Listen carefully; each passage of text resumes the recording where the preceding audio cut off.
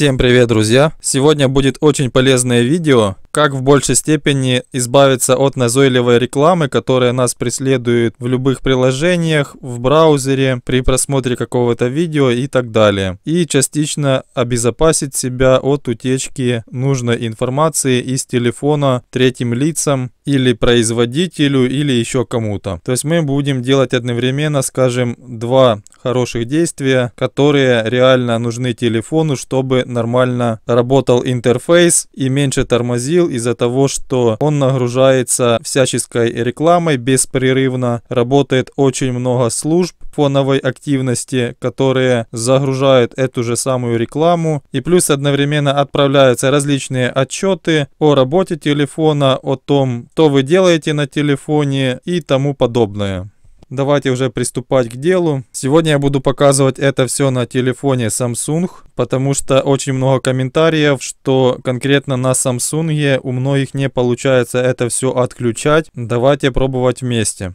Для начала мы заходим в наши стандартные настройки и нам нужно найти строку «Конфиденциальность». Возможно у кого-то интерфейс будет отличаться, просто ищите у себя это слово или функцию.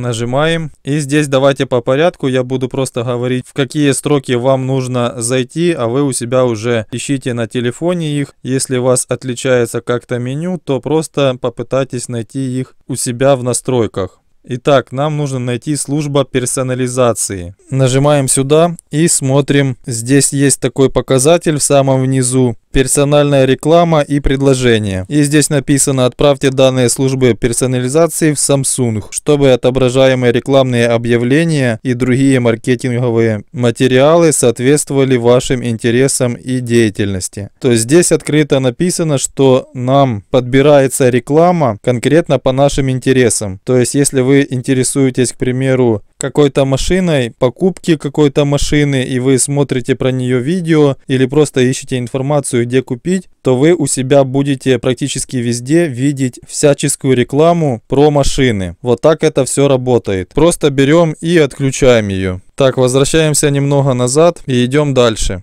Отчеты об ошибках. Это тоже специально встроенная программа, которая собирает очень множество информации о неправильной работе телефона, якобы для того, чтобы улучшить в дальнейшем как-то мобильные телефоны Samsung. И давайте выключим эту настройку и посмотрим, что нам напишут. И вот как вы видите, здесь написано, компания Samsung будет благодарна вам за помощь в улучшении качества ее продуктов и услуг. На вашем телефоне установлено ПО для диагностики, которое с вашего согласия может автоматически собирать диагностические данные и данные об использовании устройства. Если вы согласны, эти данные данные будут отправляться в Samsung. Если честно, то, во-первых, это дополнительный разряд батареи. Во-вторых, неизвестно полностью до конца, что собирается конкретно. То есть, возможно, не только какие-то ошибки собираются. И вообще, э, зачем эта вам программа нужна, если на самом деле пользы от нее вообще полностью ноль. Эти отчеты ваш телефон точно никаким образом не улучшат, а разряд батареи вы получите нормальный. И здесь даже есть пункты, вот два, даю согласие на отправку диагностических данных и даю согласие на привязку диагностических данных к другой информации. Здесь уже за нас даже поставлены галочки, скажем так. Нам нужно их отключить для начала и потом нажать внизу «Да». Потом у нас отключится этот пункт. Так, все, мы это все сделали. Идем дальше. Маркетинговая информация. То есть, чем вообще занимаются маркетологи? Они продвигают какую-то продукцию, неважно какую. Это может быть и Та же самая реклама, это просто может быть какая-то текстовая всплывающая информация. То есть всяческие виды намека на какой-то товар у вас будет всплывать везде по всему телефону, и потому этот пункт мы обязательно отключаем. Дальше есть э, служба персонализации Android. Этот пункт мы оставляем, это нам нужен этот пункт. Потом, если интересно, я позже про него расскажу.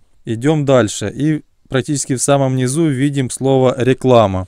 Если честно, ни на одном из телефонов Xiaomi Xiaomi пытается скрыть всячески возможными путями эту рекламу, чтобы люди ее не отключали. А здесь напрямую просто написали реклама. То есть выключить реально проще простого. И здесь пишется Отключить персонализацию рекламы, запретить приложениям использовать рекламный идентификатор для создания профилей и показа персонализированной рекламы. То есть все вот эти программы, которые в Play Market мы скачиваем, там очень часто выскакивает та же самая реклама. Она, конечно, после этого отключения не полностью исчезнет, но ее станет намного-намного меньше. Потому что здесь как раз стоит это самое разрешение на показ всей этой рекламы. Мы это, конечно же, берем и отключаем.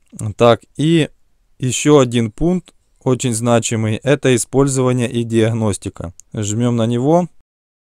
И здесь нам производители пишут, помогите сделать устройство Android еще лучше, разрешите автоматически отправлять в Google диагностические данные, а также сведения об использовании приложений и самого устройства. Это поможет нам улучшить работу системы, например, снижать расход батареи и повышать стабильность работы. Некоторые данные в обобщенном виде будут доступны партнерам Google, например, разработчикам Android. Если включена история приложений и веб-поиск, ссылка, данные также могут сохраняться в вашем аккаунте. Мы будем получать общие сведения о работе устройства, например, об уровне заряда батареи, ошибках и действиях в системе и приложениях. Эти данные помогут нам совершенствовать Android, а наши партнеры смогут использовать их, чтобы улучшить свои приложения и продукты. Реально, если вчитаться в эти слова, то мы просто даем доступ, чтобы по нашем телефоне шарилась какая-то программа, собирала все личные данные и отправляла на какие-то непонятные сервера. И третьи лица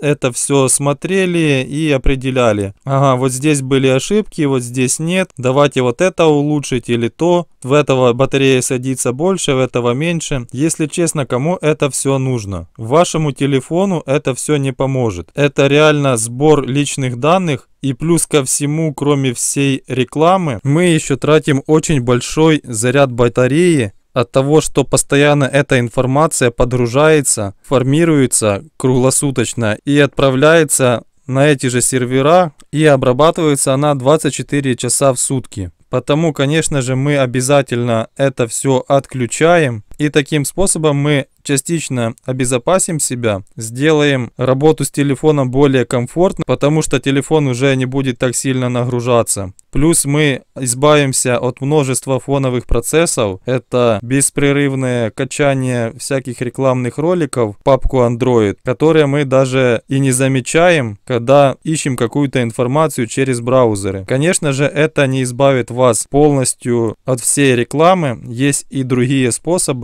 как это все отключить. Можно отключить реально полностью-полностью всю рекламу. У меня есть на канале видео, можете посмотреть. Но вот сделав хотя бы вот эти самые простые действия, вы где-то процентов 90 рекламы уже исключите с вашего телефона. Поддержите видео лайком, конечно же подписывайтесь на канал, пишите комментарии. Всем до новых встреч!